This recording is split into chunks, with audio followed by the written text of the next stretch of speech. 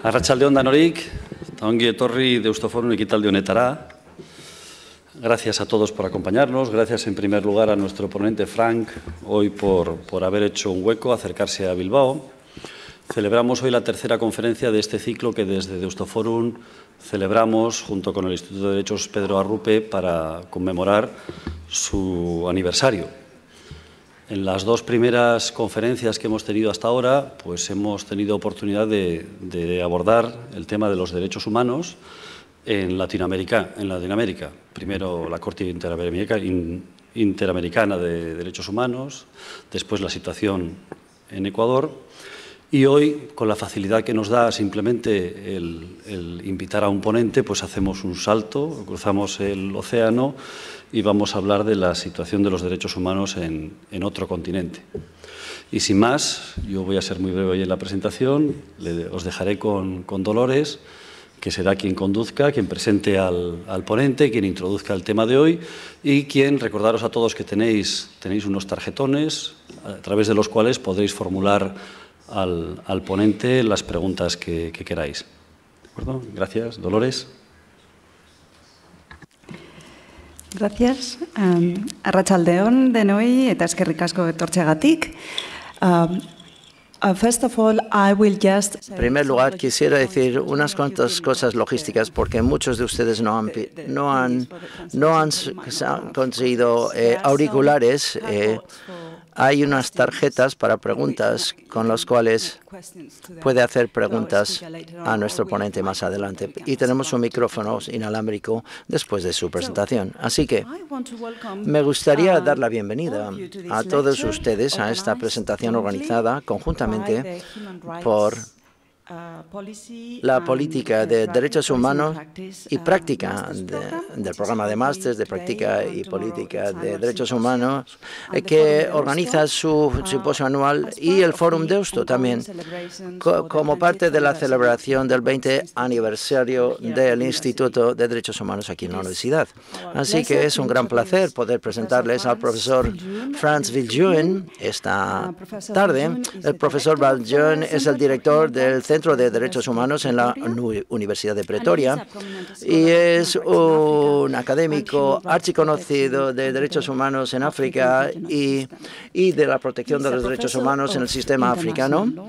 Es profesor de Derecho Internacional con un fuerte interés en de contribuciones multidisciplinares para la comprensión del derecho, especialmente las instituciones y procesos que dan forma al derecho en los libros y todos aquellos elementos históricos y evaluaciones comparativas y cuestiones de eficacia y de puesta en práctica que hace que su trabajo se, sea tan cercano al nuestro aquí en Deusto y a este curso de máster en particular. Ha publicado pues muchísimo en cuanto a muchos temas con, con los derechos humanos, en cuanto a, a, visiones generales muy completas de los derechos humanos en África y otros trabajos más centrados en temas más detallados en cuanto a los derechos humanos, especialmente sistemas de protección, las naciones, bueno, sistemas africanos y de las Naciones Unidas su eficacia y grupos vulnerables como minorías sexuales, las personas que viven con discapacidades y también los pueblos indígenas. Y exactamente sobre este último tema, los pueblos indígenas, de los derechos de los pueblos indígenas en África, que tendremos, él dará su ponencia magistral esta tarde.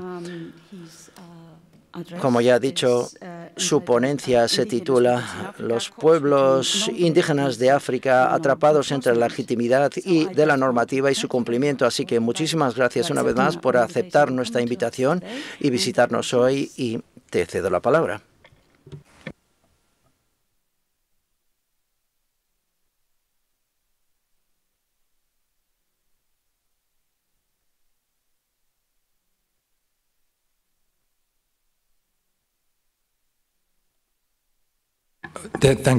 Muchísimas gracias, Dolores.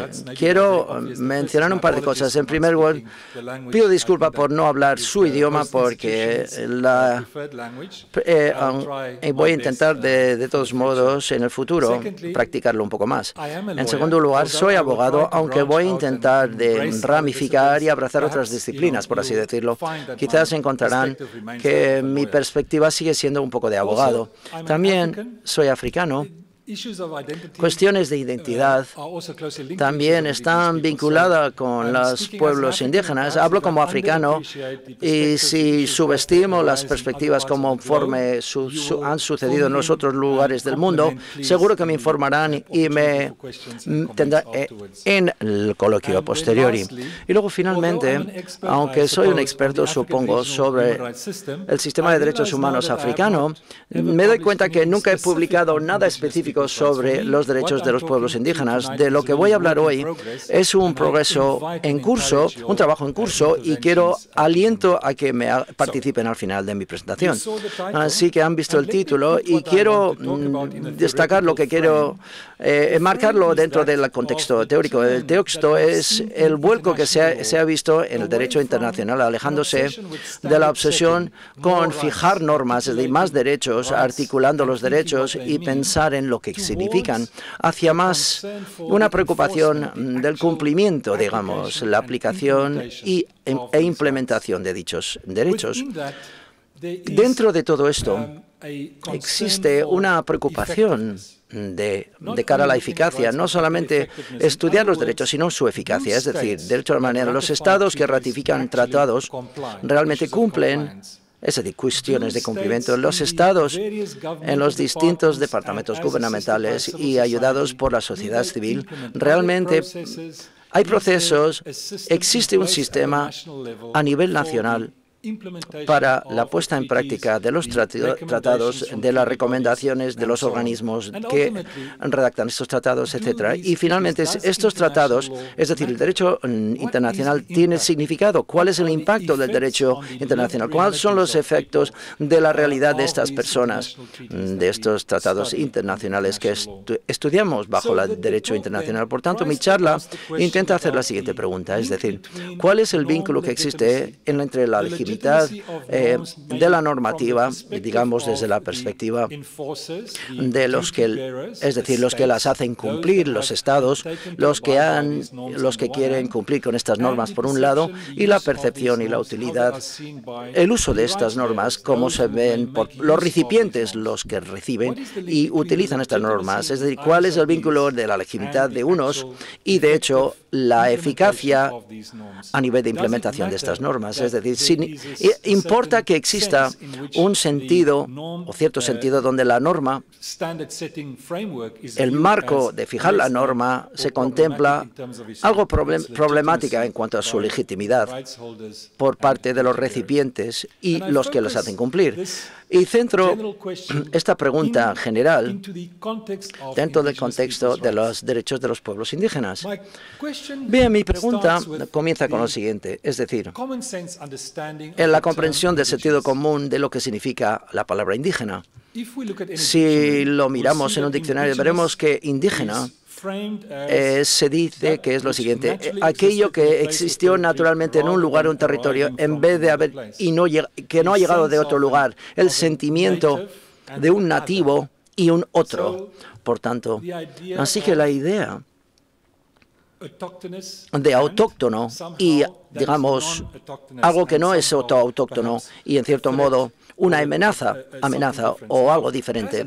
Bien, como africano y como africanos, y quizás ahí, es donde me dirijo, hay un sentido donde todos los africanos, desde la comprensión del sentido común, se ven como indígenas. A ver, y tienen buena causa para pensar así, porque y decirlo, porque si volvemos a la paleontología, nos daremos cuenta que el, esta, el Sahelanthropus, que se encontró fue la primera indicación de homínidos, eh, volviendo a, regresando hace 6-7 millones de años. Como surafricano también somos conscientes de la cuna de, la humanidad, las, los fósiles de homínidos que se encontró en las cuevas de Starkfontein y el Australopithecus africanus, que hasta hace 3,3 millones de años. Por tanto, para no entrar en un debate acerca de estas cuestiones, y quizás sabemos todos, y como se ha informado que Recientemente,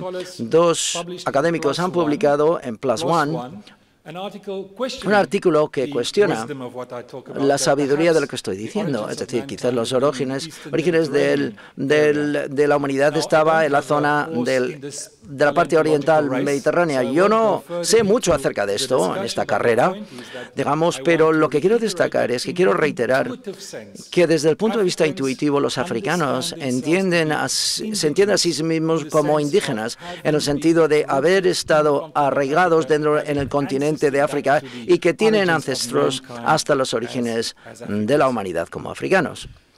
El derecho internacional, sin embargo, tiene su propia comprensión de este término. A través de la historia que comienza con la desgraciada historia de la conquista colonial, la colonización, que no vamos a entrar en detalle sobre esto, pero Conforme el péndulo iba en contra de aquellos asentamientos en el Nuevo Mundo, como se llamaba, descubrimos que, como conforme el derecho internacional lo contempla, tú, de manera crítica en su apoyo, en el contexto de la colonización y la conquista colonial, empieza a apoyar una mayor preocupación desde la raíz de los pueblos que fueron desraigadas pueblos desraigados y afectados negativamente por parte de la conquista colonial y el proceso de colonización. Y de ahí surgen el discurso y la idea de un marco de derecho para aquellos que han perdido ese asentamiento por parte de incursiones coloniales. Bien, la imagen indica los indios americanos. Es un término interesante, es decir, la única manera que se puede describir lo que se encumbró en el Nuevo Mundo es vincularlo con la única otra que conocían era India, es decir, por tanto, se llaman indios americanos. Es curioso. El otro contexto sería los aborígenes en la zona de Australasia y en las Américas las poblaciones indias en, de muchas formas diferentes. Así que dentro de ese contexto, donde la conciencia, por así decirlo, de aquellos que han heredado uh, el derecho internacional, este manto de derecho internacional, formularon el marco para apoyar a aquellas personas que arguían a favor del reconocimiento para reabordar lo, reabordarlo dentro del marco de los primeros pueblos, es decir, los que estaban afectados y que a menudo muy pocos siguen permaneciendo hoy en día, desgraciadamente. Según el derecho, encontramos que formalmente hablando,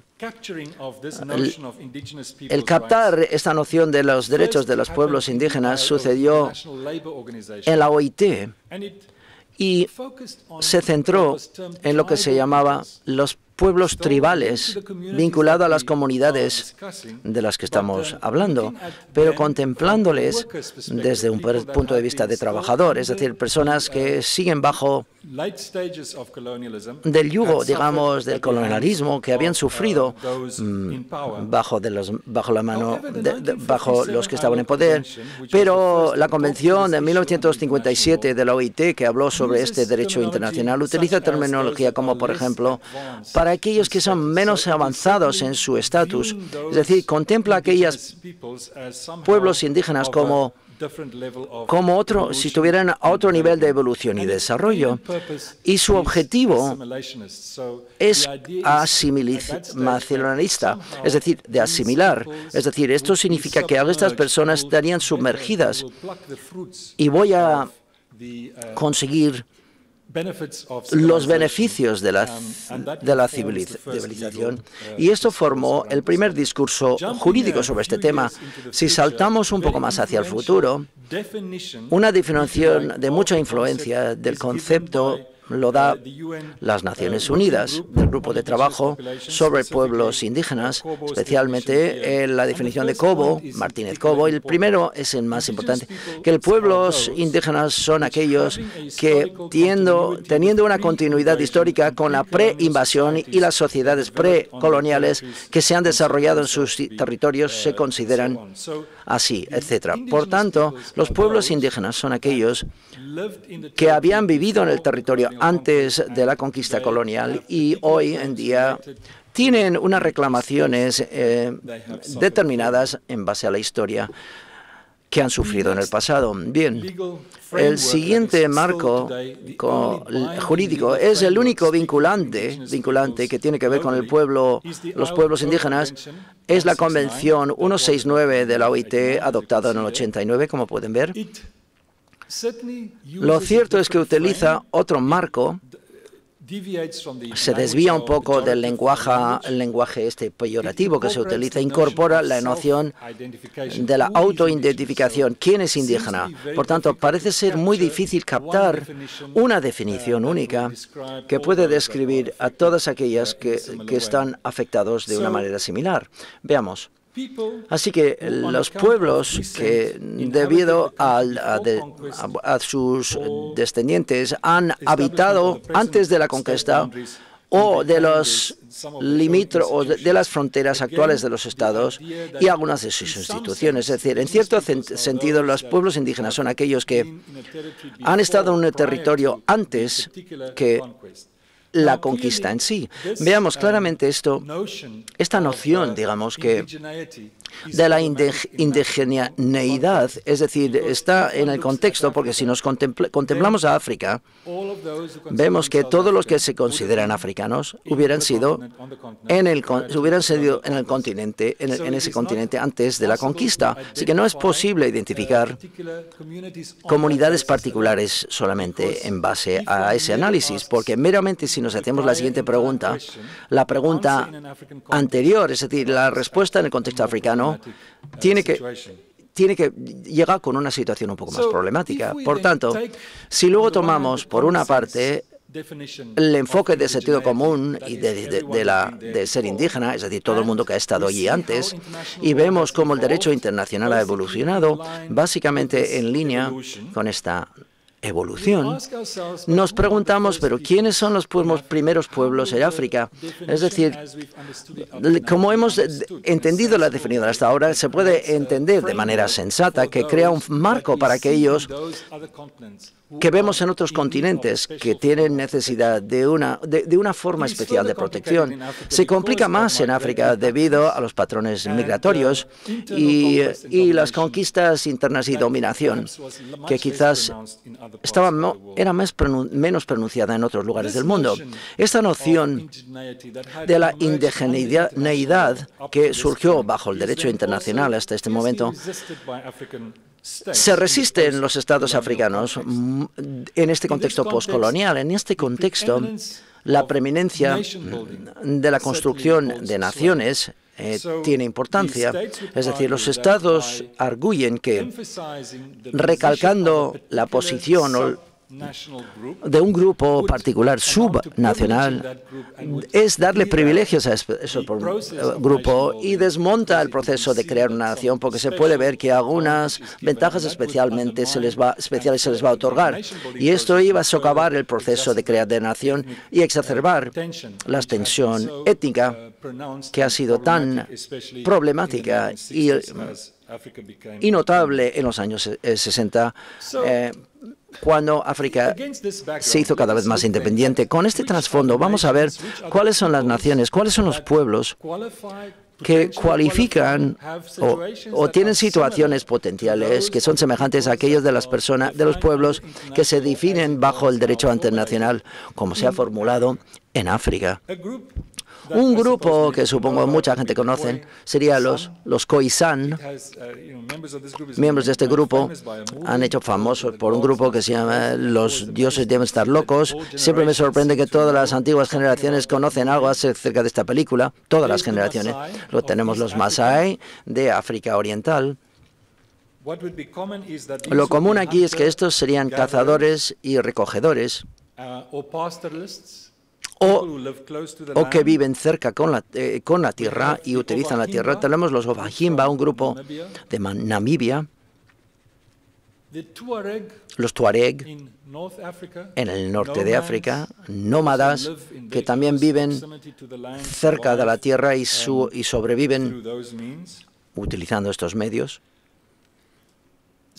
Así que para poder captar la protección que, necesitan grupos de este tipo, que son primeros pueblos, dicho sea de paso, pero por otra vez, por otro lado, todos los africanos en el continente dirían que estaban ahí antes de llegar los colonialistas, por tanto serían primeros pueblos, pero en el contexto africano eh, tenemos estos cuatro criterios para, intentar ofrecer un sentido al concepto de, la de ser indígena que se puede funcionar dentro del contexto africano. Uno sería una ocupación a largo plazo de, y el uso de un territorio específico.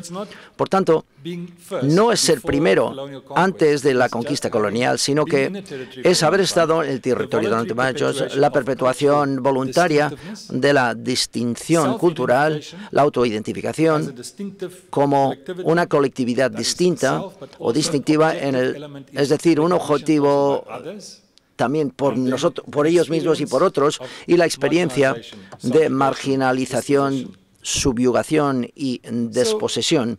Bien, por tanto, se ha entendido que estos cuatro criterios de manera cumulativa captarían esas necesidades de protección especiales que algunos grupos subnacionales determinados en nuestro continente podían tener. Es decir, grupos que están en una situación análoga a los grupos que ya han recibido, por así decirlo, o se han identificado como que merecen protección bajo el derecho internacional, como pueblos indígenas.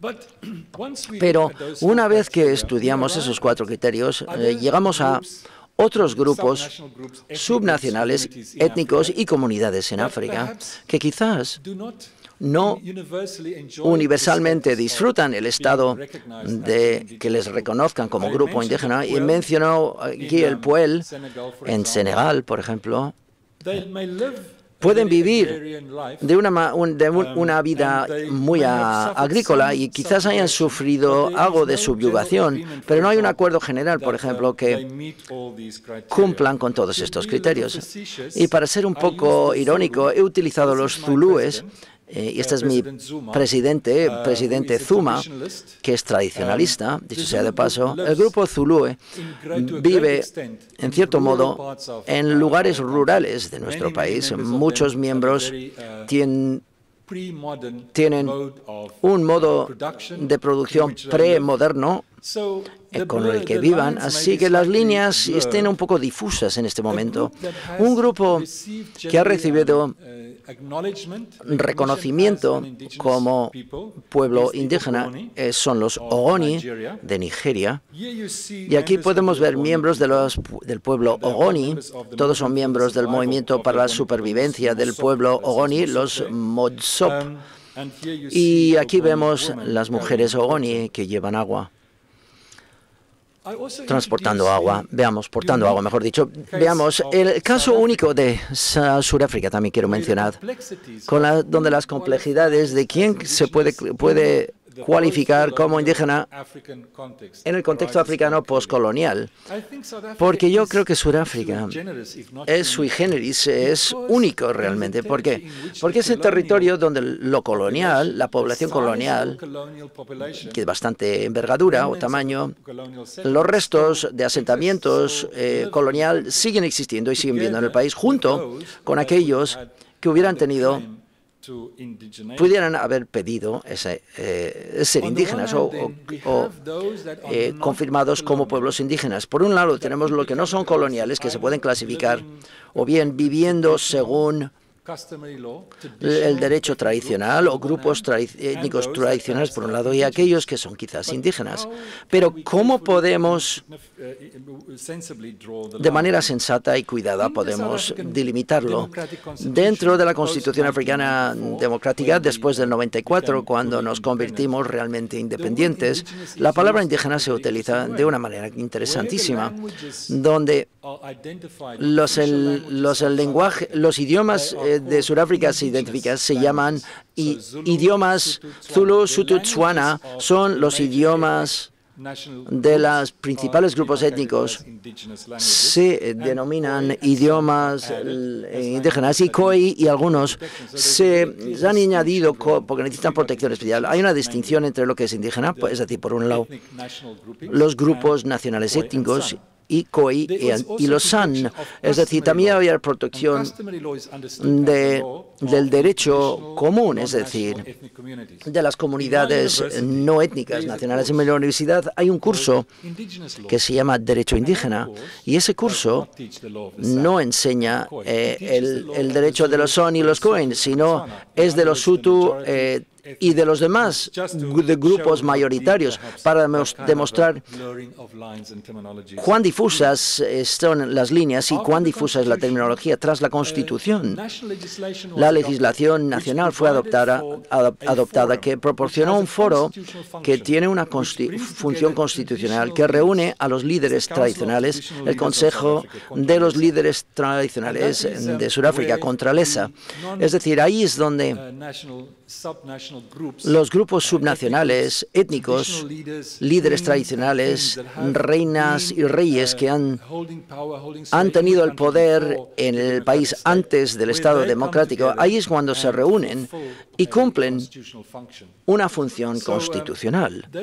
Así que esta es la la situación precaria en una situación de un Estado democrático en instituciones que son algo deficientes en cuanto a su naturaleza democrática. Bien, pero ese, ese Consejo de Líderes Tradicionales ha excluido a los San y a los KOI. Por tanto, los líderes tradicionales se entendía que eran aquellos que están en las comunidades étnicas y a ellos se les otorgaba una, una función constitucional excluyendo a los pueblos indígenas si los COI y los SON son pueblos indígenas. De hecho, bien claramente esto ha sido una situación dificilísima y es una cuestión de de evolución positiva que ahora hay, hay un, eh, digamos, una ley, borrador de ley que va a crear un consejo de líderes tradicionales y de los COI y de los SON. Por tanto, consejo de los líderes tradicionales y pueblos indígenas si utilizamos la tecnología que hemos abrazado hasta el momento. Pero si nos contemplamos la ley, es, la ley es curiosa porque define lo que es una comunidad tradicional. Yo ya sé que esto hay muchas palabras en la pantalla, pero se qué es una comunidad tradicional, tiene un sistema de liderazgo tradicional, cumple con la ley común, se reconoce como una comunidad distinta con su, su historia de existencia. Ocupa una zona que de geografía determinada, tiene una existencia de eh, patrimonio cultural determinado y tiene varios eh, bueno, eh, jefes o jefas. Bien, si volvemos a estos cuatro criterios que hemos mencionado antes de la distinción cultural, vinculados a la tierra, marginalización, etcétera, eh, y la autoidentificación, la verdad es que es el último elemento de la historia de la marginalización que quizás no está presente en esta definición, pero por otro, porque si no, supone que un grupo tradicional es muy similar al, aspecto que tenía una comunidad eh, tradicional. La, la misma ley, el borrador, define qué es una comunidad indígena y si nos fijamos en los criterios, existe una especie de solapamiento entre lo que es una comunidad tradicional y lo que es una comunidad indígena, los, una comunidad de Khoi y los San. Eh, hay pequeñas diferencias en el texto eh, perteneciendo a una comunidad única distinta a las demás comunidades, es lo que encontramos en esta definición. Y una vez descubre también la noción de una existencia coherente, por tanto, lo común se recalca y lo de la distinción frente a las demás comunidades. Así que supongo que lo que quiero destacar es que aunque estamos de acuerdo que existen ciertos parámetros dentro de los cuales intentamos ubicar quién es indígena y quién no, debido a que el derecho está obsesionado con los criterios y marcos para la protección, tenemos que vivir con este tipo de punto de arranque, un cierto sentido de definición o criterio o marco, siempre, en cierto modo, se ofrece, pero la, distinción cultural no es absoluta. La distinción cultural siempre, bueno, se mueve, se mueve sobre un continuum. Es decir, hay un grupo, no hay una distinción que clasifica a un grupo como indígena o una distinción que es tan poco sorprendente que realmente no clasifica a un grupo o se le reconozca como indígena. El gran peligro con este criterio es que, es que invita a la nación de, de esencializar, es decir, colocar una cultura, estudiar una cultura y derivar unas características esenciales que se solidifican conforme pasa el tiempo. Evitar esto y ser realista y fijándonos en que, aunque las culturas eh, indígenas se han eh, transformado conforme pasa el tiempo, la distinción cultural tiene una comprensión un poco más flexible. Lo mismo con vinculado al territorio dependiendo de, dependencia sobre la tierra y recursos. Eh, se contesta mucho este tema. ¿Por qué? Porque si se fija en uno históricamente, especialmente en África, hay pocos grupos que tienen un territorio marcado y que llevan allí desde tiempo inmemorial. Aunque si nos fijamos en los COI, los COI se habían desplazado debido a presiones políticas dentro del continente africano y se encontraron a los Bantú y luego volvieron y regresaron a las partes más sureñas del, continente. Así, fijándonos en el vínculo con el territorio, también el pueblo Mobad muestra claramente que es una cuestión compleja. Luego la autoidentificación, y es importante identificar el grupo, pero también los de fuera hacia adentro, los que miran desde fuera hacia adentro. Se ha registrado como Quizás uh, este criterio también se está utilizando de manera propia. Si nos fijamos en el pueblo Ogoni, se han descrito como, como una minoría, como un grupo étnico en minoría durante muchos años. Así que han luchado sus batallas y se han colocado eh, dentro de un marco determinado, pero cuando el discurso se hizo disponible sobre el tema de ser indígena o no, recibió un apoyo global, fue una decisión estratégica del pueblo Ogoni para investigar y cuestionar los beneficios estratégicos de abrazar estos marcos de ser una comunidad indígena en vez de una minoría, una comunidad étnica en minoría. Así que esto es una cuestión importante. La marginalización, quizás el ejemplo contrastando entre lo que es tradicional y lo que es comunidades indígenas, la gran diferencia mm, reside en el alcance de la marginalización. Hay muchas comunidades culturales que están vinculadas con la tierra, pero es el alcance de la marginalización que quizás sea la manera más clara de distinguir aquellos que intuitivamente podemos sentir desde el punto de vista humano que necesitan los cuidados y la preocupación que el discurso indígena ofrece y la protección especial que permita, permite. Sin embargo, la marginalización también es, está en un continuo, es flexible, no de aquellos que hemos estudiado hasta el momento que se considera tradicionalmente que son indígenas que se han marginalizado. En el Estado postcolonial vemos que las comunidades eh, del partido dominante que las minorías que están en conflicto con ese, esa comunidad étnica que está en el poder también sufre hasta cierto punto de la marginalización. Y esto es algo que también está en ese continuo. Así que, una vez más, si nos fijamos en estos cuatro criterios y aceptamos que estos son los criterios, o digamos el baremo para la ser indígena o no, No es un todo o nada. Hay que contemplar estos en contexto, todos estos factores, y reunirlos. Y luego quizás discutiría, dando más importancia al alcance de la marginalización hasta el punto de de perder los marcos institucionales y la identidad, que son muy importantes para el grupo. Sin embargo, ese tipo de enfoque quizás puede eh, hacer entrar en juego de ser un poco romántico, es decir, de ser un poco romántico en cuanto a, a la identidad cultural y la manera de pensar acerca de este tema y hacer que progrese. Bien, por tanto, la conclusión que podemos alcanzar es que existe un sentimiento intuitivo de, ser indígena o no, que son los primeros pueblos. La, la manera en que el derecho internacional ha ajustado el concepto para que funcione dentro del contexto africano es una especie de una manera poco intuitiva, digamos, de hacerlo. Pero ¿por qué esto es así?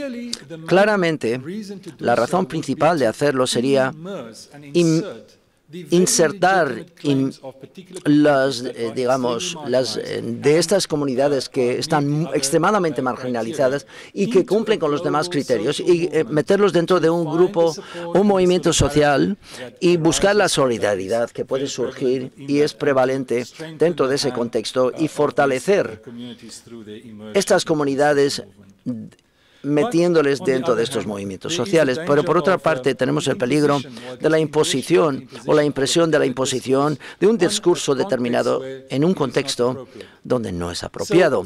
Veamos, si vemos que los estados se resisten a la noción de ser de los indígenas debido a su comprensión intuitiva del concepto, Ajustar este concepto y en cierto sentido utilizarlo a toda costa dentro del contexto africano no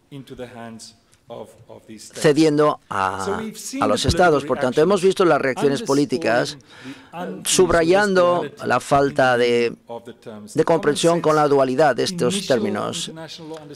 Es decir, la comprensión del sentido común del derecho internacional y el, el enfoque técnico en la Declaración de las Naciones Unidas cuando se adoptó. Esto dijo que los estados africanos dijeron porque todos los africanos son indígenas y también añadieron el temor de la secesión que puede surgir. Hubo una opinión, eh, digamos, consultativa de la Comisión Africana que lo refutó, pero la respuesta de los estados dentro del sistema de Naciones Unidas en el sistema africano y dentro del contexto de la UPR, estas objeciones, eh, bueno, aparecen una y otra vez. Quiero, por tanto, vamos a, cambiar, a hablar del sistema africano y cómo aborda, digamos, esta, esta dicotomía, digamos. Si el derecho internacional se puede criticar por no ser estar allí, digamos, para estas minorías y pueblos vulnerables, parece que para los pueblos indígenas el derecho internacional ha sido uno de los mejores vehículos y herramientas dentro de la lucha a favor de su causa. Y también dentro del sistema africano, si nos fijamos en los distintos grupos vulnerables, no hay ningún grupo que quizás haya utilizado mejor y ha encontrado un mejor foro para, para su causa que los pueblos indígenas. Por tanto, claramente, lo internacional y lo regional es importante porque exactamente se hizo oídos sordos. No hubo posibilidad de implicar al Estado-Nación en el debate para su protección, porque quizás, en mi argumento, debido a la no implicación intuitiva en base a que los estados tenían una noción fundamentalmente diferente de quién es indígena y quién se les permite, desde su punto de vista, hacer estos argumentos a su favor. Tenemos la Carta Africana en este sistema, que es un documento muy útil porque aborda la, cuestión de los derechos de colectivos y de los pueblos, como podemos ver del título. Y eso es exactamente la manera en la cual los pueblos indígenas basan sus mm, peticiones. Dentro del sistema africano vemos la evolución conforme el movimiento global internacional se fortaleció en base a los derechos de los pueblos indígenas. ¿Cómo afectó el sistema africano? La Comisión fue fundada en el 87. Por los primeros años, hasta el 90, hubo una negación completa. La Comisión Africana creía que era una cuestión no importante y que no existían los derechos de estos pueblos indígenas. Pero el primer África no hizo una declaración en el 89 en frente en frente del Grupo de Trabajo de las Naciones Unidas. Por tanto, ya había una voz. Y luego el Grupo Internacional, el Grupo de Trabajo, eh, una ONG eh, con una sede en, Dinamarca, en particular, no exclusivamente empezó a, a progresar y avanzar el argumento que el ser indígena y los derechos de los pueblos indígenas deberían enmarcar en África. Hasta ese momento se hacía de una manera muy minimalista y ad hoc. Es decir, no había un discurso sobre los derechos de los pueblos indígenas. En África, Bill Fier y los demás organizaron una conferencia en el 99 y se invitó esencialmente a los pastoralistas y comunidades de recogedores y cazadores y también un miembro de la Comisión Africana, el, el, el comisionado el comisario Pitiana. Es decir, en el 2000, justo después de esa conferencia, la Comisión Africana estableció un grupo de trabajo sobre las poblaciones indígenas y el grupo de trabajo redacta un informe sobre las poblaciones indígenas donde básicamente dice que el, ser indígena es un concepto que se puede utilizar en África y que elabora los cuatro directrices que hemos visto antes. Es decir, superar el, el problema de los primeros pueblos centrándonos en otros criterios y con conjunto con esto también ayudó a varias ONGs para conseguir estado de observadores con la Comisión Africana. Eh, brevemente he visto en esos años tras el 2000, cuanto antes de la Comisión Africana, muchas ONGs indígenas eh, solicitaron y se les concedió el estado de observadores con el apoyo de las ONGs internacionales. Esto se manifiesta en la primera edición de la Comisión Africana sobre los pueblos indígenas y esto es el caso Endores, por ejemplo, ONG que tenía estado de observador contra Kenia fue presentado en el 2003. Por tanto, vemos que en ese contexto donde empezó a funcionar todo y la decisión, bueno, la sentencia fue en 2009. Este es el maravilloso lago Bogoria. Hay que apreciar la imagen para ver la gravedad de lo que sucedió a este pueblo en Derois, pues fueron desplazados donde habían estado durante un, habían subsistido durante y eran pastoralistas había sal determinada para su ganado, había lugares religiosos. Era un pueblo feliz que vivía en un entorno que era que conducía a favor de su supervivencia. Pero debido a que había una reserva de animales, pues se hizo una reserva. Esto es la típica. Se les movió, se les desplazó sin consultarle. Estamos de acuerdo que esto es una severa violación de los derechos humanos, pero fue la decisión se marcó en cuanto a los derechos de los pueblos eh, eh, digamos indígenas. se Varios derechos se infringieron del breve debido a la cultura, la religión y de su, los recursos naturales, uso de recursos naturales y porque no les habían consultado una recomendación se hizo para remediarlo. Hubo siete pues, pasos determinados que indicaron que deberían tomar los estados. Y en este momento vuelvo al tema tal y como lo presenté al principio. Desgraciadamente, esta recomendación en general no fue, eh, bueno, eh, aplicada por el Estado. La no aplicación, el Estado de africano dijo que era una cuestión compleja, es decir, dijeron que en el 2010 había una constitución que fue enmendada, hubo era un proceso que estaba todavía en curso. Pero el caso importante que articula las normas no dio lugar a un cambio en las realidades de las vidas de esa comunidad. Por tanto, la cuestión que quiero hacer es hasta qué punto gap. Este, esta brecha normativa de comprender lo que es indígena vinculado con este no cumplimiento, pues bien, tengo que decir lo siguiente. Es decir, no es una excepción esto. Lo cierto es que hay muchos más casos donde las decisiones de la Comisión tampoco se han puesto en práctica, pero cada uno puede tener quizás factores determinados que pueden explicar el por qué. Veamos, en este caso, no se refirió al Tribunal Africano. Es posible que se hubiera referido a una decisión por parte del tribunal, pero no entraré en detalles.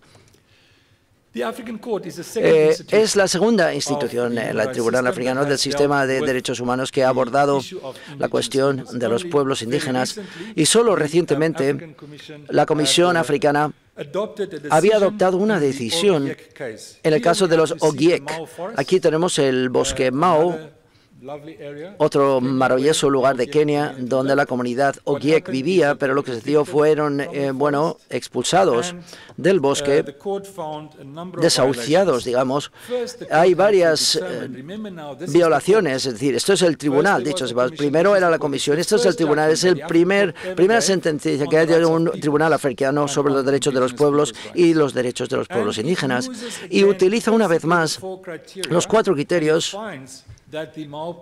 Bien, que el bosque Mao era el hogar ancestral de los, del pueblo Ogiek. Había una prioridad en el tiempo, en cierto sentido, pero no una prioridad en el tiempo, en el sentido absoluto en cuanto a cómo se puede entender esto. Había una, se perpetuaba la distinción cultural y que sufrían de la subyugación. Esto quedaba claro. Pero hay unas tensiones interesantes que tienen que ver con los que he mencionado. Eh, lo que arguía el Estado es que muchos de los Ogiek se habían convertido al cristianismo.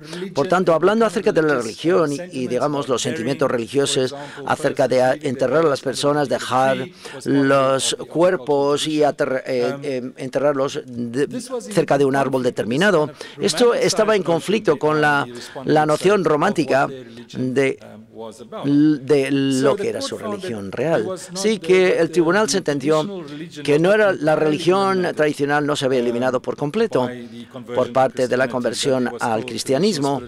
Había valores espirituales importantes, pero me parece que no estaba totalmente. Sea que el tribunal dice que el cristianismo había hecho todo lo posible y había cambiado el punto hasta el que se puede hablar acerca de el sentimiento, el, el sistema de valores religioso que está vinculado a los, en los periodos precoloniales, el, el, derecho a la cultura también, hubo una aceptación clara que la cultura de los Ogiek había, se había cambiado. Muchos se habían mudado y habían abrazado, digamos, un estilo de vida occidental. Muchos vivían vidas modernas y esto neutraliza su propuesta. ¿Qué efecto tiene este movimiento? Dice, los valores principales, los valores tradicionales, invisibles, invividos dentro de la autoidentificación y la mentalidad ha cambiado un poco, o no, o no permite sin cambiar, mejor dicho. Esto es algo amorfo, algo es casi normas invisibles. Aunque la cultura cambia, o cambie y la gente o gran cantidad de personas dentro de un mm, entorno urbano, ¿qué es lo que permanece? Es decir, y me corrijo, la, la sentencia es que declara que el tribunal que sí son un pueblo. Así que quiero concluir diciendo, hay una manera de seguir adelante y hay una salida espero que se me entiendan y espero que no me entiendan que eh, la dificultad de esas comunidades que están en mayor riesgo, esas comunidades que sabemos que han vivido, que muestran una distinción cultural, a veces son las personas, las comunidades en nuestra sociedad, la sociedad africana, que quieren, están rezando porque están vinculados con la, con la tierra y sin consulta se hacen reservas y están expuestos a gran peligros y, y privación es decir, se les roba el terreno. Hay muchos ejemplos donde estos derechos se, se les está jugando.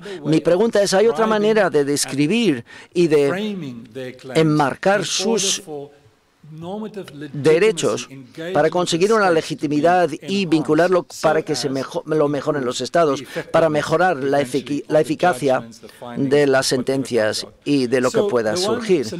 La única, una solucionar sería enmarcarlo dentro de la protección de las minorías. Son minorías en cierto sentido, es decir, son muy son formas particulares de minorías, pero en el discurso de las minorías hay, hay una pérdida de lo común, lo comunal, es decir, que se entiende como individuos o grupos, pero se individualizan. Afortunadamente, en el contexto africano, también podemos hablar de minorías con mayor riesgo si podemos crear, pero no captamos la dimensión colectiva. En el sistema africano, afortunadamente, la Carta Africana habla de los derechos de las personas o de los pueblos. La manera más apropiada de marcar, digamos, estas declaraciones de manera tentativa sería hablar de los pueblos con mayor riesgo, porque las minorías se marcan de una manera muy individualizada. Los pueblos con mayor riesgo, porque hay un discurso sobre los pueblos, hay una, o una comprensión de los derechos colectivos que ya ha prevalecido en el sistema africano.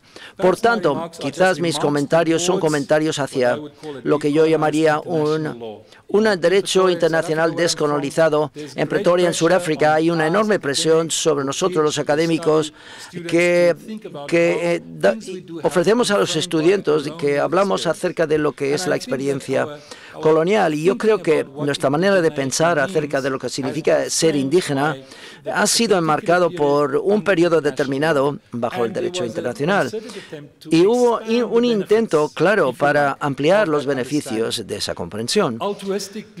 De manera altruista, bueno, motivada de manera altruista, aunque sea, hay unas consecuencias no intencionadas. ¿Cuál sería un enfoque africano al derecho internacional con relación a este tema? Esta sería la primera vía. La solución también debería residir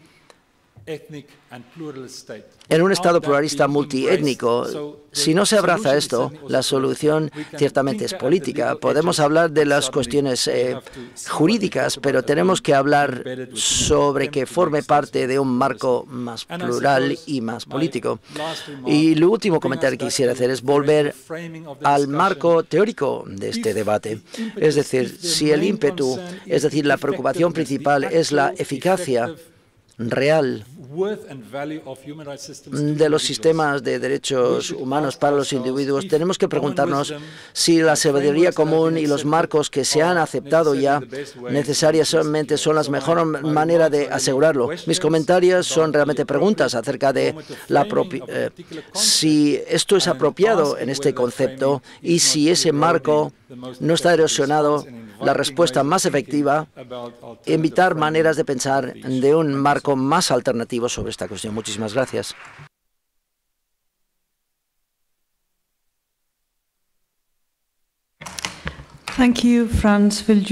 Gracias, Franz Viljun. Lo cierto es que ha sido una presentación muy, bueno, muy iluminadora, digamos, en cuanto a los pueblos indígenas y el, debate acerca de cómo enmarcar estos problemas, esta es una cuestión que hemos abordado en nuestras propias clases, en el análisis sobre la política y el derecho. Vamos a tomar una primera ronda de preguntas o intervenciones. No sé si prefieren me los dan por escrito y les leo yo o les damos el micrófono si así lo desean.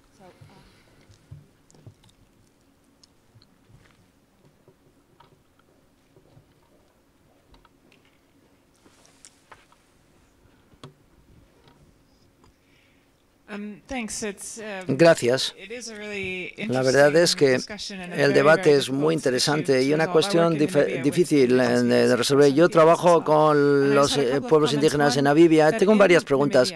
En Namibia, por ejemplo, he tenido a personas del gobierno diciendo exactamente lo que dice usted. No utilizamos el término indígena porque si lo utilizáramos, uh, todos nuestros ciudadanos podrían tener acceso a este derecho. Queríamos aplicarlo solamente a los pueblos más marginalizados, así que preferimos utilizar los pueblos más marginalizados, semejante a lo que ha dicho de, de los pueblos con mayor riesgo. Y esto es la interpretación del gobierno de Namibia. Sí, que algunas personas en el gobierno de Namibia están desarrollando ahora un informe sobre ello. Esto lo estoy viendo, de, esta es la perspectiva que tengo y creo que algunos gobiernos africanos lo están haciendo. Por otra parte, he visto que um, las comunidades indígenas africanas se han aprovechado y se han beneficiado de la participación en el movimiento de um, derechos de indígenas global, que les ha permitido reflexionar sobre su propia uh, situación como parte de un proceso histórico, no solamente um, unas circunstancias históricas um, locales, por así decirlo. No sé si realmente tengo una pregunta en este momento, pero no sé si esto uh, no es una cuestión que se puede resolver de una manera muy fácil, um, pero yo creo que en interés uh, de que sea que se apunten los gobiernos. Hay, tiene que haber un terreno medio. No sería correcto abandonar toda la terminología de los movimientos de derechos de los indígenas y de los indígenas eh, que está tomando forma hasta este momento en África. Reconocer los enfoques de los gobiernos, los diferentes gobiernos, también se, puede ser muy productivo. Podría decir más, pero estoy segura que soy seguro que otras personas quieren hacer algún comentario. Tengo una pregunta aquí, lo voy a leer. Luego quizás podemos recoger las demás preguntas. ¿Cuáles son las medidas principales que se han hecho para descolonizar el derecho en África?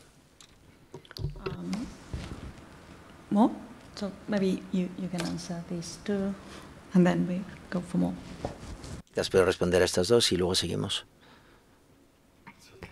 Um, Muchísimas gracias por el comentario. Yo creo que ha destacado las complejidades. Me parece, y mi conclusión es que tenemos, no es que hay que abandonar y cuáles son los costes y los beneficios, por así decirlo.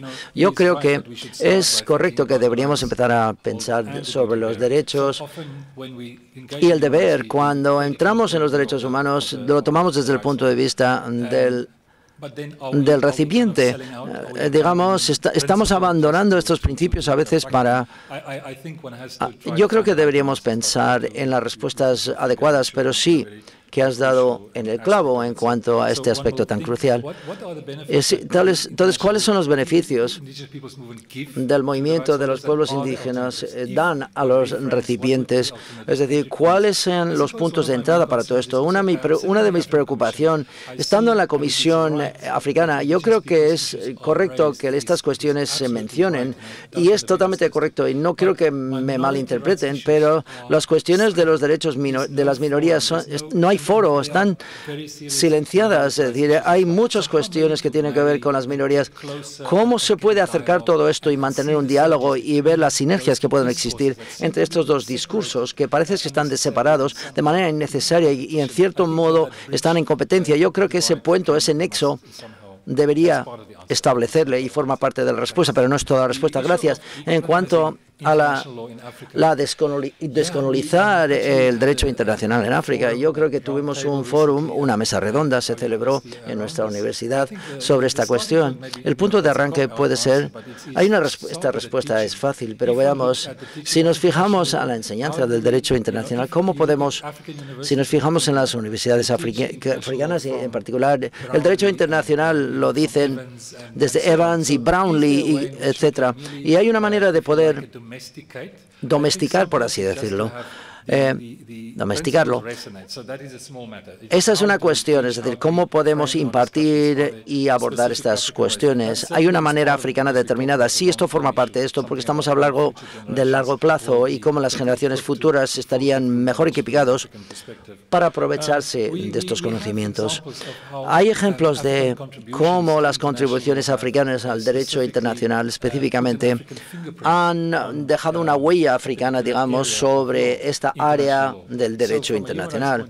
Desde el punto de vista de derechos humanos, uno sabe que la Carta Africana fue la primera que introdujo los derechos socioeconómicos y políticos al mismo nivel. La contribución en cuanto a cómo los derechos se pueden articular, la cuestión de los derechos colectivos, pero esto nos cuenta cómo las contribuciones africanas al derecho internacional ya se habían llevado a cabo. La pregunta, supongo, es que es, es cómo abordamos lo internacional, cómo es hoy, y preguntarse cuál va a ser el impacto sobre África. A veces tenemos una praxis que no es la mejor praxis. Yo creo que lo que la Unión Africana está utilizando en cuanto al Tribunal eh, mm, Penal eh, Internacional hay un esfuerzo para intentar descolonizar el derecho internacional debido a la manera en la cual la ICC había ejercido sus mandatos a nivel de sentencia era de centrarse solamente a los africanos en su política. Pero hay otra cosa que es más amplia en cuanto al Bashir y la referencia del Consejo de Seguridad, tiene que ver con el Consejo de Seguridad y su papel que desempeña en el mundo. Yo creo que hay un debate que lleva muchos años, pero claramente África debería y priorizar toda su energía acerca de cómo ver el Consejo de Seguridad como una institución que puede ser de utilidad que pueden trabajar con los demás para descolonizarlo todo, porque claramente es una colonización en general de estas instituciones internacionales. Al fin y al cabo. Gracias.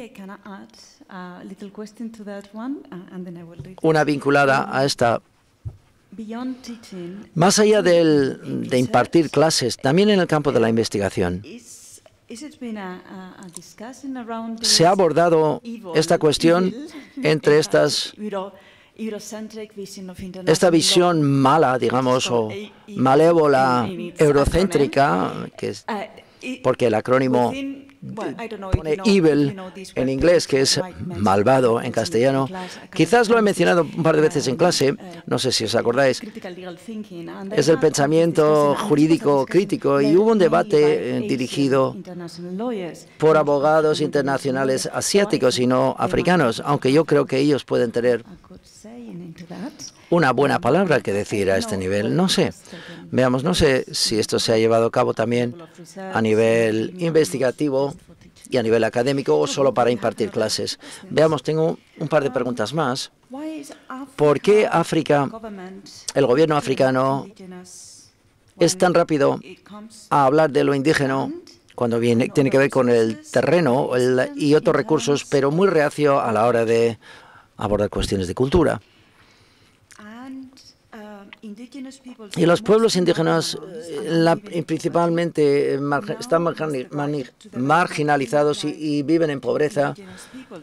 Es decir, ¿cómo se ha aplicado todo esto a nivel, eh, cómo se llaman? Pueblos que están, que en mayoría tienen riesgo, lo está traduciendo del castellano.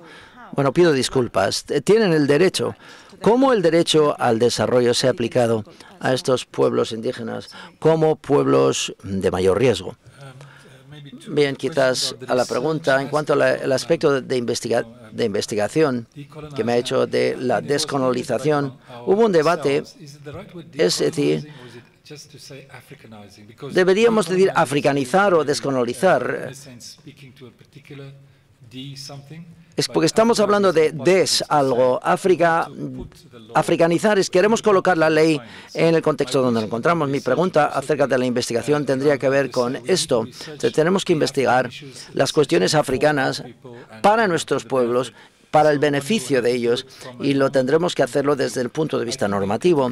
Yo creo que los estudios jurídicos críticos de, los Estados Unidos, el CLS, ha informado, se han informado académicos,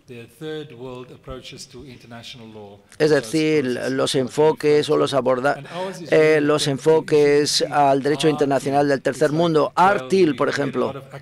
Hay muchos acrónimos. ATIL, por ejemplo, es la primera vez. EVIL es la primera vez que lo oigo. Me estoy recuperando todo de este acrónimo. Es decir, Pero estamos diciendo que a Tuel no es lo que queremos hacer, es algo que no es ATIL, que no es un enfoque del tercer mundo, es un enfoque africano. Lo que significa esto todavía lo tenemos que descubrir, pero yo creo que queremos ser no solamente ser desconstructivistas en nuestro enfoque, sino también informados a nivel social y legal. Queremos ver que hay una visión. La visión es una mejor vida para el pueblo de África y cómo el derecho internacional hace que esto ocurra. No hay que desconstruir o descolonizar por el hecho de descolonizar meramente, sino este es el abordaje que estamos pensando acerca de este tema. Veamos, no estoy seguro que haya tenga una buena respuesta a estas preguntas, pero terreno, protección cultural por parte de los Estados americanos, supongo.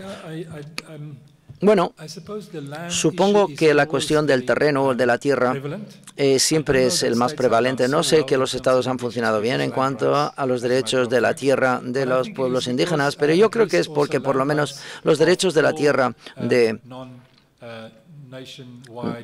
de todos los grupos no, de no a nivel o subnación, digamos, por ejemplo, en Kenia, por ejemplo, hubo un gran esfuerzo tras el caso Android de ver, de, llevar a cabo una reforma del terreno o de la tierra.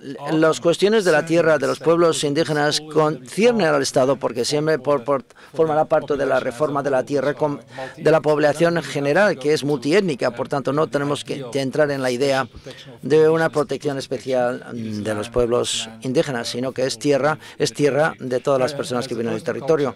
Frente a la cuestión de la cultura, donde las especificidades del grupo indígena es más importante y esto puede dar lugar a mayor resistencia o distintas medidas que tiene que adoptar el Estado en particular para este grupo y no forma parte de la protección más amplia de aquellos que viven en ese territorio.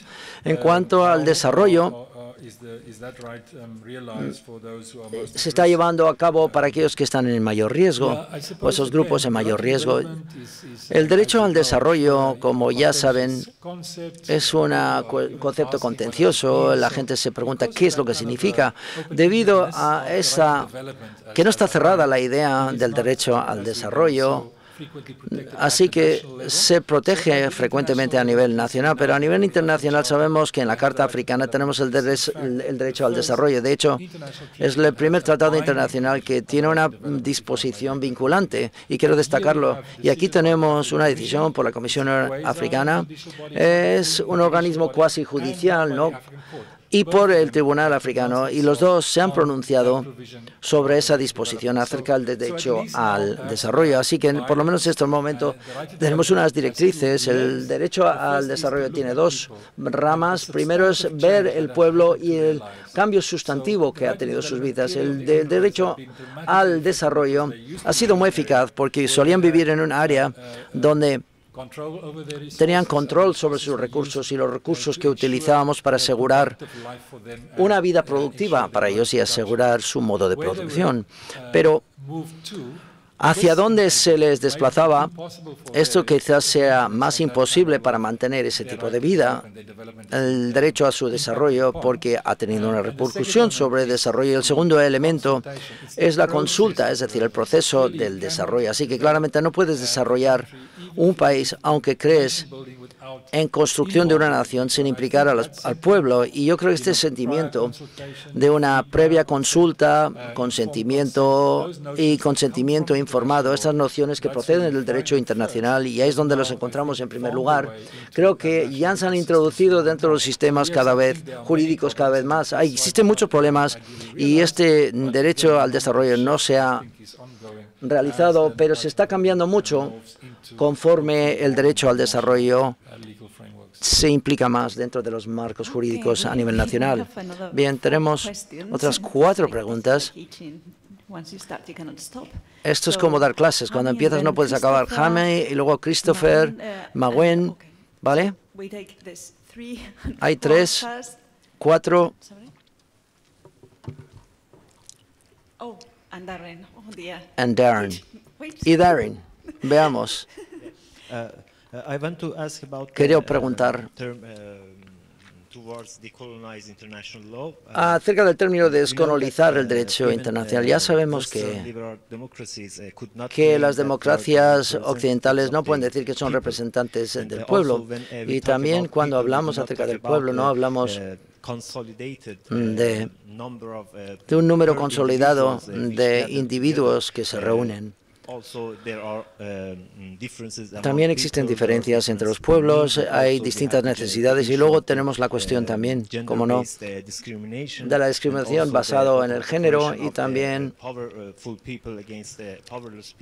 en las personas del poder frente a los que no tienen poder. Uh, en esta situación, ¿cómo, cómo podemos decir o hacer uh, que establecer un derecho internacional africano o eh, derecho internacional asiático o digamos derecho internacional suramericano puede ser o latinoamericano puede ser una especie de solución dentro de la esfera del derecho internacional. Son los estados, son los gobiernos, digamos, el poder, los grupos que ostentan el poder, que abordan los derechos, digamos, las reglas del juego y, las otras personas no tienen, no participan a la hora de cambiar esas normas. Christopher y Mawen, um, gracias por tu interesante um, discurso o presentación. Mi pregunta uh, es comparativa en naturaleza y quiere y ser multidisciplinar también en cuanto a la globalización se refiere y, los aspectos de la campaña, nivel de campaña de los estudios que acabamos de llevar, pero también incluir el aspecto legal o jurídico que acabo de abordar ahora. Y hay colegas en la clase, hoy supongo que hay eh, colegas en este grupo que saben más que yo, pero desde mi investigación personal, Existe un aspecto internacional en uh, cuanto a la utilización de los pueblos indígenas como término uh, determinado que se pueden utilizar específicamente contra de los estados colonizadores, que tienen un poder especial que se les puede quitar si descolonizamos y em, hablamos acerca de las uh, minorías. Otro ejemplo de esto puede ser la implicación de Australia en el sureste asiático puede ser a través de fondos de pensión, acerca de derechos de minería en esta región.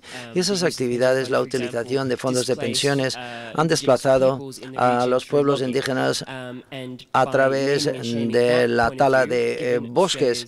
Y dada la conexión eh, australiana con los, el pueblo um, aborigen ha sido muy eficaz a la hora de cambiar uh, estas actividades uh, mm, mm, y quitarlas de las empresas.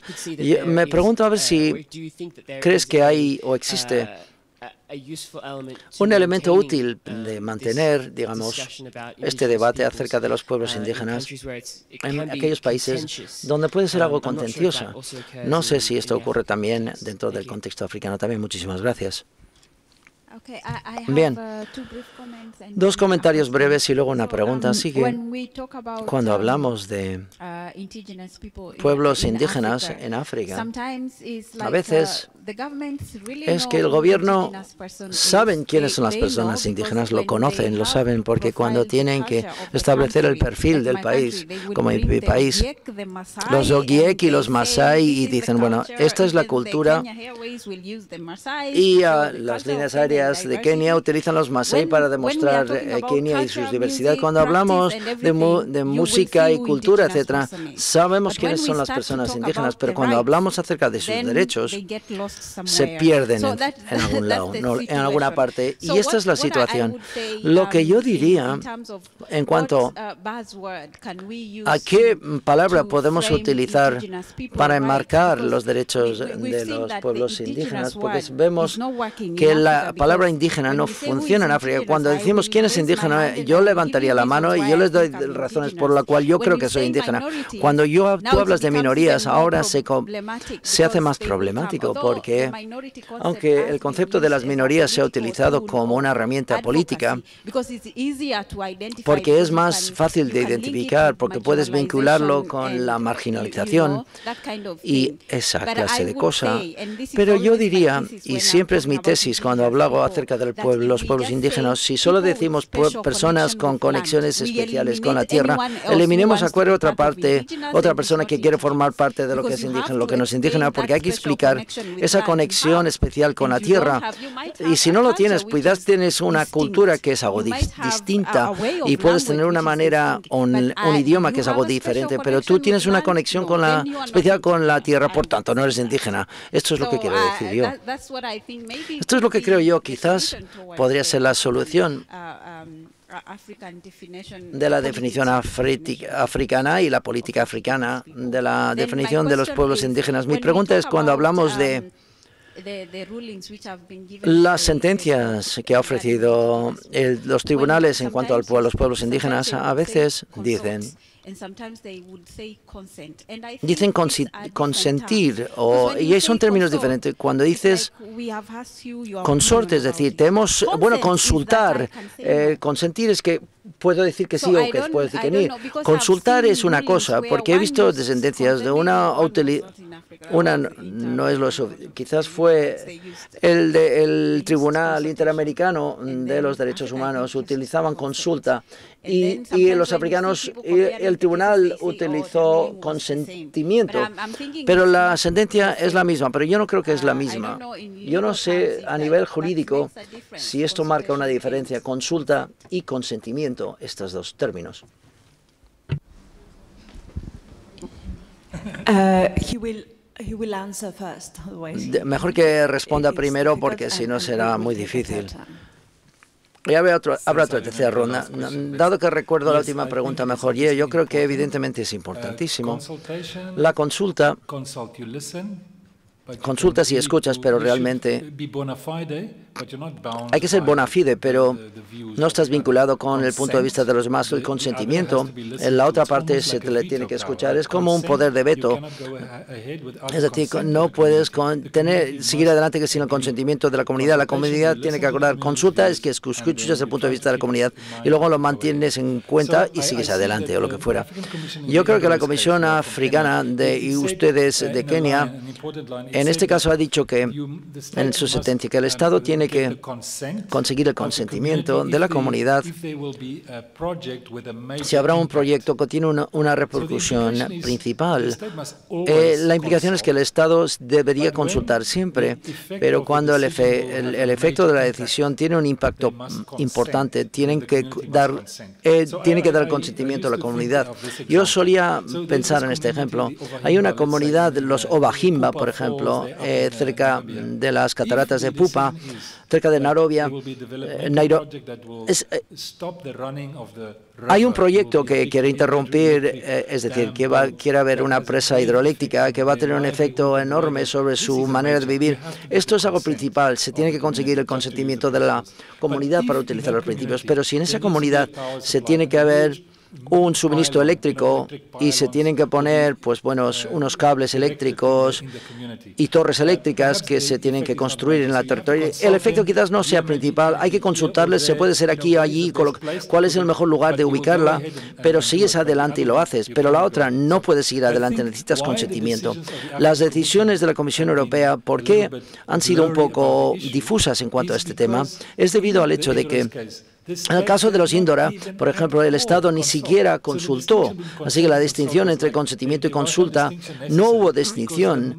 ¿Por qué? Pues porque de lo que se precisó, lo menor que se necesitaba, lo que dijo la Comisión no se había centrado si era consentimiento o consulta, porque el Estado no había, no dio ni consulta ni, pidió consentimiento a la comunidad. Gracias por tu comentario acerca de la política de la definición y espero que te haya sido de ayuda. La otra pregunta tiene que ver con el sureste asiático y Australia. Bien, quizás para decirlo de manera más clara, sigo formulándome estas preguntas, pero el argumento es que nunca que el pueblo indígena como concepto debería abandonarse de cara al mundo. Mi pregunta tiene que ver que cómo se ha utilizado, llegado a utilizar en África. Había una forma de, de la idea, tiene, vuelve a la idea de la colonización. Hay buena comprensión que se lo ha determinado que han sido los colonizadores y ahora tienen una conciencia e intentan revertir el efecto. Es una maravillosa noción del pueblo indígena que es importante, pero África no fue partícipe cuando se fundó. Ahora para globalizarlo, porque es bueno globalizar las cosas, introducimos el continente africano dentro del discurso, pero en cierto modo el discurso es no queda claro, no está muy liso, no muy claro, pero sigue adelante porque es más importante tener un discurso global que tener un discurso local. Deberíamos haber estado ahí al principio, eso lo que quiero decir es que tenemos que haber pensado sobre el concepto como africanos. Históricamente, claramente no fue así, porque... Y esto lo pido disculpas, no es muy educado esto, pero bueno, me ha sonado el teléfono. Veamos, puedo, veo tu punto de vista acerca del beneficio para las otras regiones. Mi argumento tiene que ver con el continente africano. Un concepto como la indigeneidad se tiene que aplicar. ¿Cómo se aplica en un contexto determinado? Así que es, es una manera más sensible a nivel contexto y del derecho internacional. La primera pregunta tiene que ver con la descolonización del derecho internacional en África. Bien, Creo que lo tomo como un comentario, no tengo una respuesta mm, específica y haré una reflexión sobre ello. Bien, tenemos tiempo para preguntas muy cortas y concisas porque nos van a desplazar eh, por fuerza de, este, esta sala. Gracias. Tengo un comentario en cuanto a la cuestión de mi hermana. Eh, en África, cuando se tiene que ver con, se habla de recursos, los gobiernos no buscan el consentimiento del pueblo. Los pueblos indígenas utilizan la fuerza, pero cuando tiene que ver que prácticas tradicionales que afectan al pueblo, ahí es cuando hacen consulta con el pueblo. Muchísimas gracias.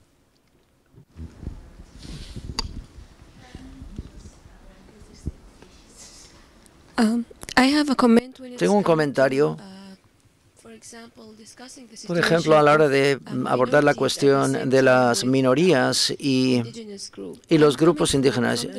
Yo vengo del Oriente Medio, donde básicamente el gobierno cree que existen minorías, pero que no hay grupos, no existen grupos indígenas. Por ejemplo, en la situación en Egipto, consideran que a las personas como, por ejemplo, los beduinos um, más como una minoría. Y les igualan a personas como por ejemplo los cristianos o um,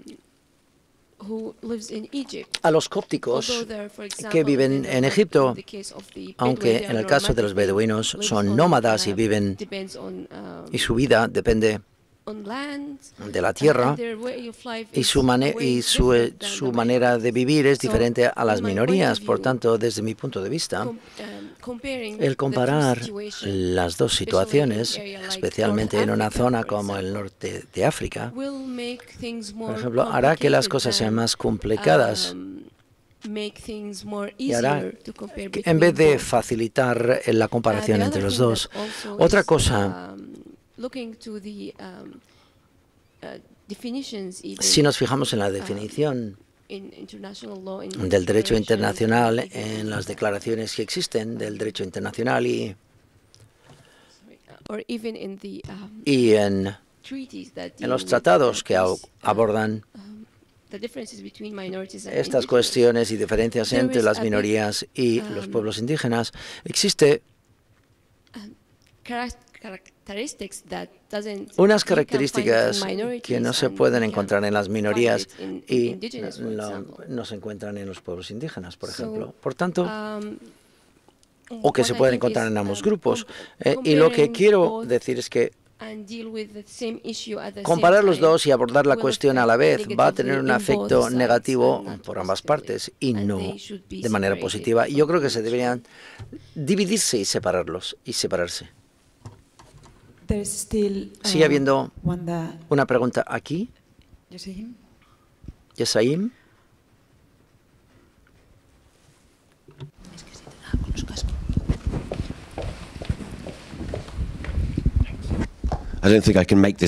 No creo que pueda decirlo rápido. Yo no creo que probablemente pueda responder, pero voy a responder a tu cuestión de la interdisciplinariedad. Y agradezco que un abogado cuestione los aspectos coloniales del derecho internacional. Como sociólogo, quizás podría intentar sugerir que el problema sea más profundo que todo esto.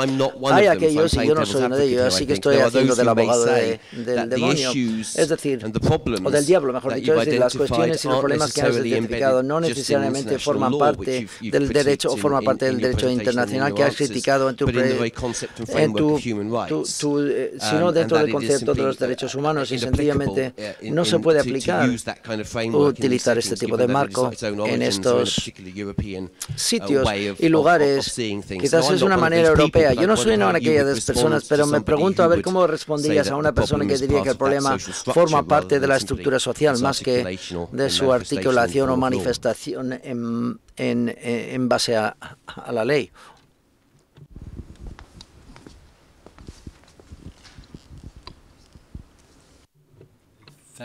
Muchísimas gracias. Preguntas muy provocadoras y comentarios. Estoy encantado de volver a pensar en esto. Ha, habido un comentario y luego ha habido el comentario sobre Egipto y los beduinos.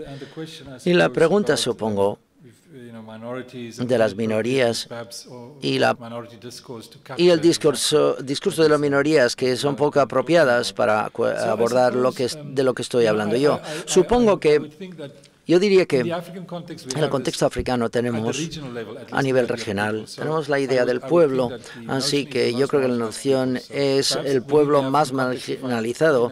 En el contexto africano, si me dices lo que, lo que tengo que decir, lo que es el término más apropiado sería el pueblo más marginalizado, no utilizar el discurso de las minorías. Estoy de acuerdo, no. Y quizás mi presentación también lo ha estudiado y pensar que que tiene sus deméritos, estoy seguro, estoy de acuerdo contigo, pero lo que vemos a nivel nacional, vemos que los estados utilizan, y ya lo han dicho, es que los estados utilizan estas poblaciones más marginalizadas y quizás si el tipo de protección se otorga al final, esto es lo importante, así que el marco es importante en lo que sale a la realidad, o sale a relucir. Los estados lo utilizan de otra manera, no utilizan terminología alguna y utilizan el nombre del grupo. En Burundi, por ejemplo, hay una disposición que habla de los batwa, es decir, no están marginalizados, son batwa y lo que significa es que les ofrece a los Batua ciertos diputados en el Senado.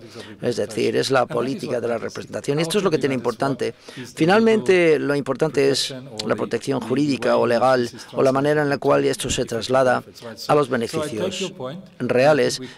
Tengo, entiendo lo que acabas de decir y yo creo que deberíamos pensar en que en un estado determinado quizás sea lo más apropiado si, por ejemplo, hay un grupo particular que tiene una forma de necesidades de protecciones determinadas, esto se marca como el nombre del grupo en otro contexto. Así que yo creo que es una cuestión de ser flexibles y de contexto, que es lo que se necesita. Uh, Bien, la pregunta de si quizás no tiene que ver solo con el derecho internacional, de cómo enmarcar esta cuestión, sino que este forma parte de la noción de que estamos hablando de los derechos humanos y los derechos humanos en sí como un marco de los problemas de la vida. Es, es una maldad eurocéntrica y occidental y estamos destinados a estar en, hablar en los bordes de, de tratar de enmarcar palabras determinadas cuando realmente estamos estudiando si está. Yo creo que la preocupación que ha mencionado es válida, es una cuestión que en el contexto de la descolonización, etcétera, también se está abordando. Y hasta qué punto los derechos humanos, el concepto occidental, ¿podemos seguir hablando de esto?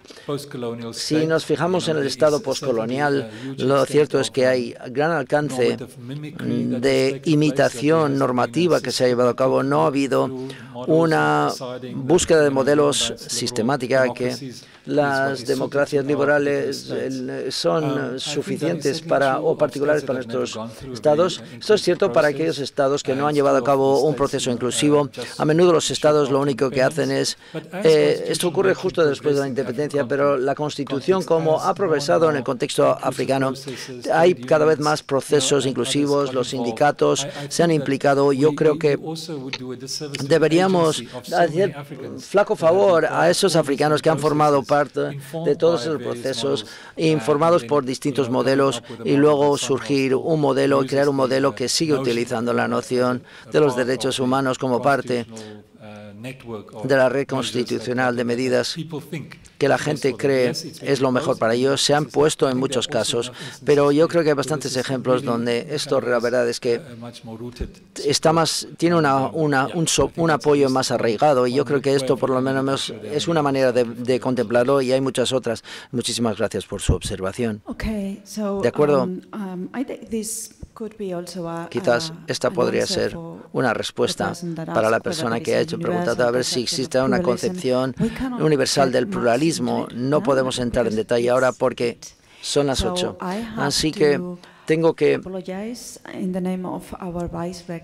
en nombre del vicerrector que no puede estar aquí para concluir la sesión, ha tenido que marcharse. Así que muchísimas gracias, Franz. Gracias por este debate tan interesante para todos vosotros. Y también recordarles que tras el verano, para aquellos que seguirán, que siguen en Bilbao o quieren regresar a Bilbao, vamos a seguir celebrando nuestro aniversario, nuestro cumpleaños, y habrá una segunda parte de ponencias y les mantendremos al día y les enviaremos un correo electrónico.